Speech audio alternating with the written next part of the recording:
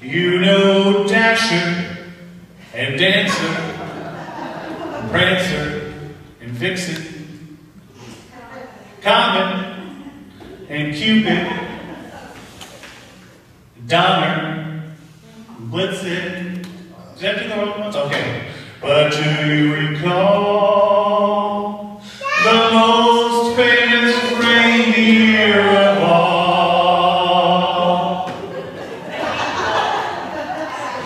Rudolph the red-nosed reindeer